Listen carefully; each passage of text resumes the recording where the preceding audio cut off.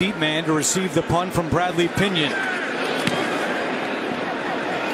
Crowder creeps up to the 27. Returnable for Crowder. Right up the middle across the 35. There he goes. Crowder beats the